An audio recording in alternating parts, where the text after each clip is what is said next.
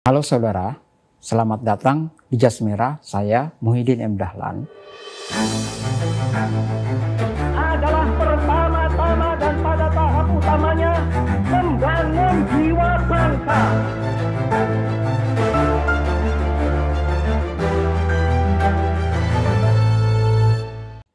Kali ini kita akan membicarakan satu tokoh yang mungkin saudara-saudara sekalian sudah sangat akrab, kenal baik, bahkan namanya berada di bawah sadar ketika disebut namanya itu selalu identik dengan setan dan hantu.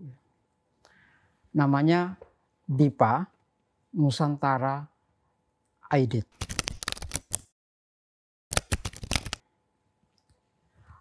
Saudara sekalian, mengejah atau membaca nama ini dan pikirannya itu seperti kita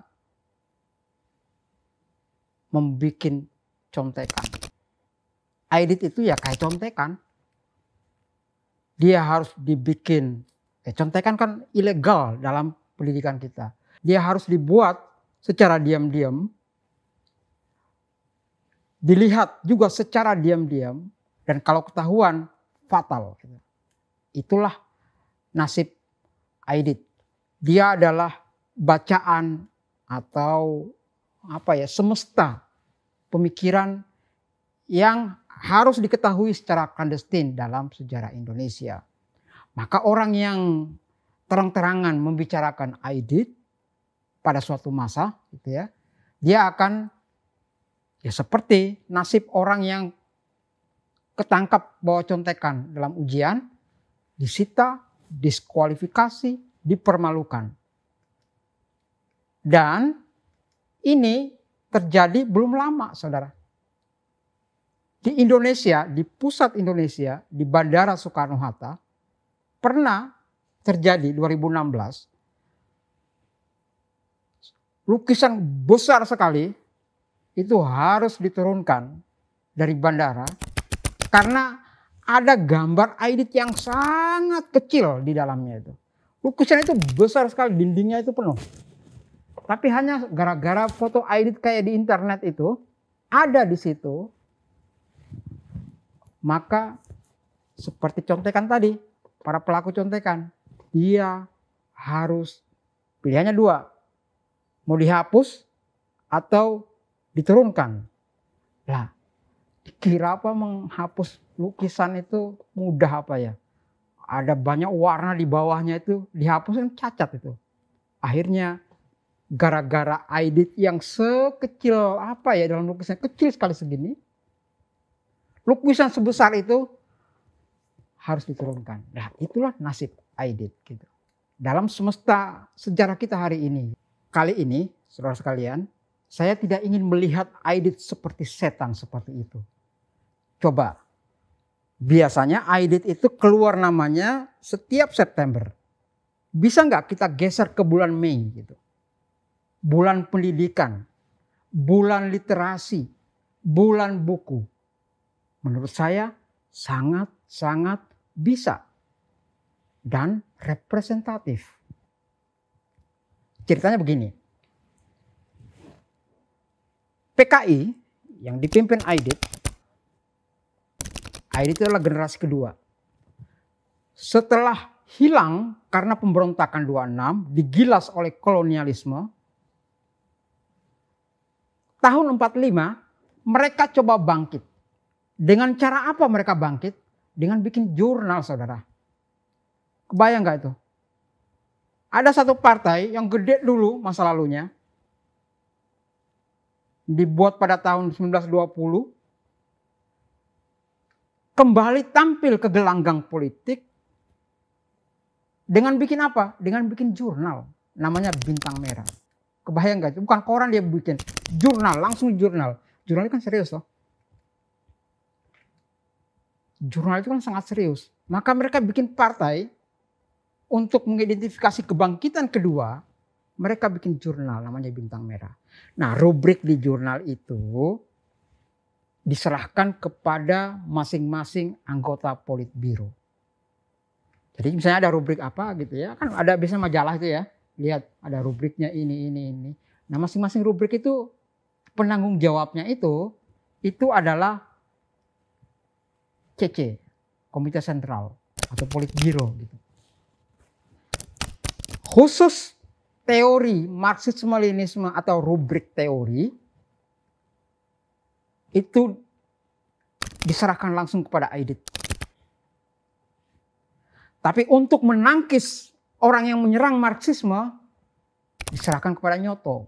Makanya Nyoto kerjanya berkelahi, maksudnya berdebat. Lalu untuk hal-hal yang sifatnya apa ya komunisme dan ketatanegaraan nah MH Lukman untuk menjaga rubrik itu. Sementara Sudisman tentang organisasi secara internal. Rapat-rapat PKI segala macam. Itu dia rubrik itu. Aidit bayangkan Aidit langsung dia Marxisme Leninisme teori itu nggak boleh orang menulis yang selain Aidit gitu. Maka dari sini saya melihat bahwa Aidit itu penulis esai yang sangat produktif. Tulisannya panjang-panjang. Kalau nggak dibatasi oleh halaman mungkin sangat panjang. Gila menulis gitu. Soekarno itu punya antologi esai namanya di bawah bendera revolusi. Satu dan dua kan benar toh? Aidit juga punya namanya pilihan tulisan satu dan dua tebalnya sama. Jadi dalam sejarah itu hanya ketua, pimpinan ketua itulah yang boleh membuat buku tebal. Yang lainnya harus tipis. Nanti alasannya kenapa harus tipis. Kenapa hanya Aidit yang tebal gitu. Nah, saudara sekalian, sosok Aidit ini percaya sekali kehidupan propaganda partainya itu dengan media. Dia percaya sekali. Berhikmat gitu. Jalan penerbitan ini adalah jalan terbaik bagi partai kami. Maka mereka bikin satu tadi saya sebutkan bintang merah jurnal. Itu mula-mula muncul di situ. Disusul oleh karena jurnal itu kan nggak rutin terbitnya kan. Padahal rakyat butuh pengetahuan yang realitas, yang realitas gitu. Yang ajak setiap hari menemui mereka tiap nggak pagi juga sih. Kan datangnya koran biasanya besoknya karena ya tahu sendiri distribusi waktu itu. Maka mereka bikin namanya harian rakyat gitu. Bukan cuma koran dan jurnal, mereka juga bikin penerbitan namanya Yayasan Pembaruan. Nah, Saudara sekalian, Aidit ingin membawa PKI itu sebagai partai yang percaya kadernya, yang percaya bahwa kadernya itu hingga di tingkat paling bawah gitu ya, harus punya wawasan, harus punya otak. Makanya kalau kalian jalan-jalan ke desa gitu, tiba-tiba ada orang tua sekali, tapi kok pinter, nggak nggak kuliah di UGM, nggak kuliah di IAIN Kalijaga atau IKIP itu. Tapi kok pintar banget. Ah, Anda patut curiga ya bahwa ini ID, IDT apa IDTisme ini.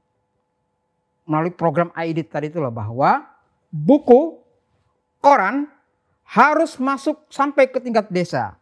Lewat apa? Jalur hierarki partai. Maka di PKI setiap kader itu adalah aktivis literasi sekaligus. Enggak kayak saya ini kan nggak punya partai jadi aktivis literasi. Enggak, itu satu paket itu. Aktivis literasi itu sekaligus anggota partai gitu. Mereka lah yang menyebarkan. Karena itu, karena buku, koran itu satu bundel itu masuk ke desa, maka bukunya nggak boleh mahal. Bukunya nggak boleh lebih dari 50 halaman. Supaya apa? Supaya orang desa bisa mencernanya. Kelihatan ringan, saya menyebutnya itu program buku saku. Di buku saku itulah ide Marxisme dikenal. Kebudayaan progresif diperkenalkan. Politik negara anti-imperialisme dan anti-kolonialisme dipropagandakan. Mereka diperkenalkan realitas kontemporer, teknologi tepat guna, dunia bibit-bibit di pertanian, perihal tanah dan agraria itu diasup, dimamah oleh kader-kader paling bawah lewat gerakan literasi, buku, dan koran masuk desa. Saudara, Aidit ini seperti saya katakan sejak awal sadar betul dengan media. Dia ingin menunjukkan bagaimana partainya itu pro dan percaya kekuatan media untuk pencerahan rakyat hingga paling bawah gitu ya. Percaya banget gitu. Mungkin kepercayaan Aidit itu sama dengan kepercayaan tapi percaya apa enggak sih? Haritanu kan punya juga media kan? MNCN grup sampai layar-layarnya yang panjang sekali itu. Ketua partai yang lain yang punya media siapa lagi? Ah, Surya Paloh gitu kan. Tapi apakah sama dengan PKI gitu? Apakah sama mencerdaskan kader atau tidak gitu? Nanti kita lihat paling bawah gitu ya. Di bagian paling akhir namanya komisi penerjemahan gitu. Jadi saudara, PKI masuk ke sektor buruh, pendidikan, budaya, ya, organ organ-organ apa ya, pelajar kepemudaan gitu, perempuan, petani, nelayan, sarjana, mahasiswa, anak-anak dia percaya mereka bisa memasuki dunia itu lewat media. Maka Aidit berkata, saya ingin kutipkan kepada Anda ya, ada satu paragraf menarik kata-kata Aidit itu ya.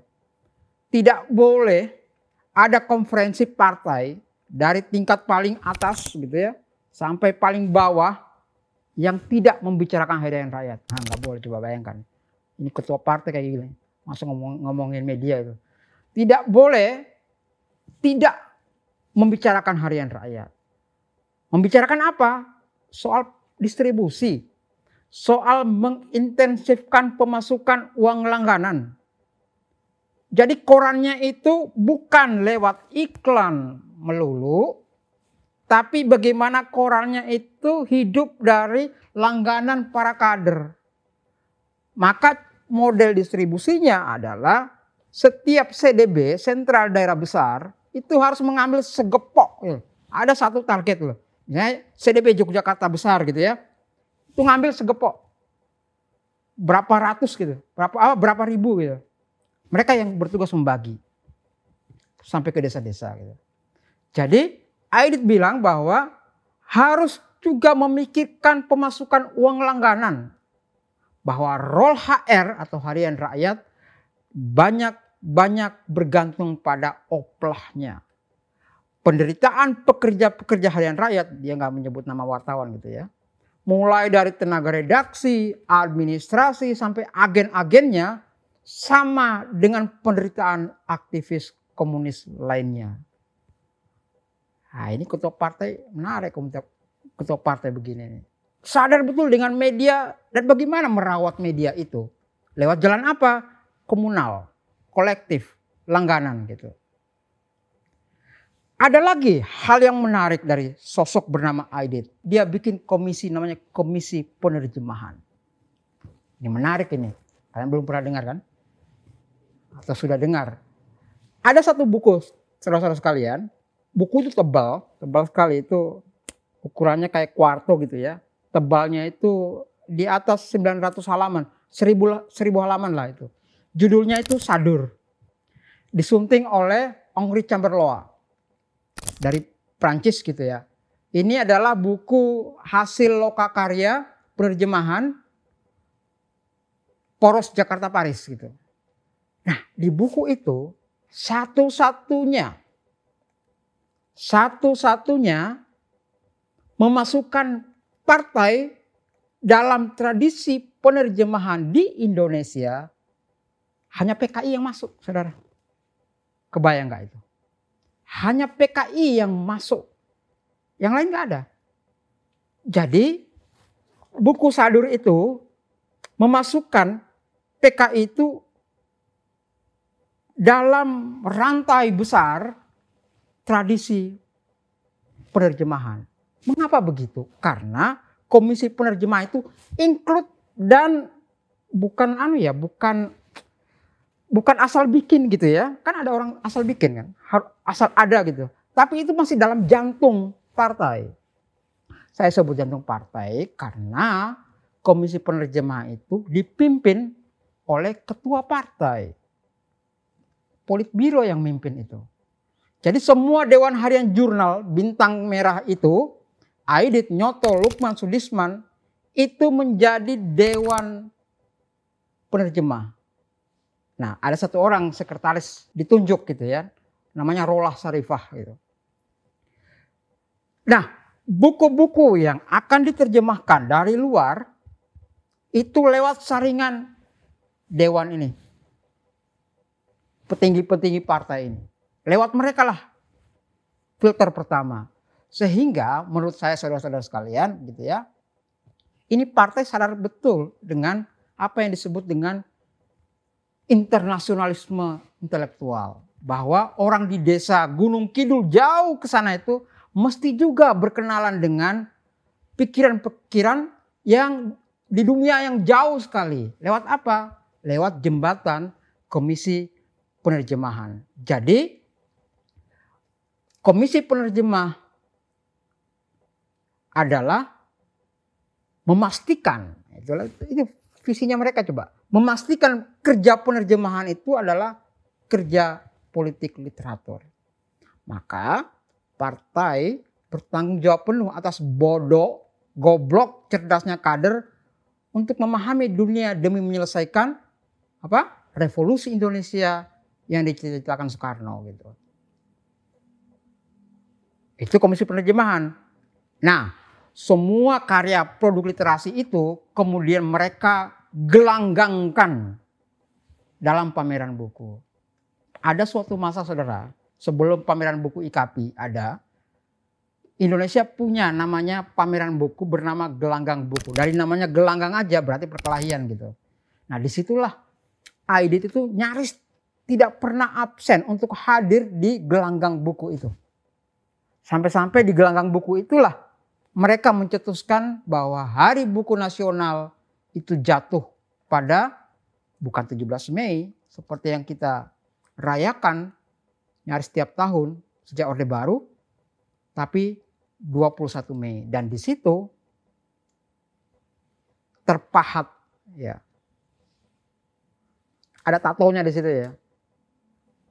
Nama orang bernama I Nah, begitulah teman-teman sekalian, saudara-saudara sekalian, lewat PKI, I hendak bilang bahwa kami berada di garis terdepan dalam aksi literasi.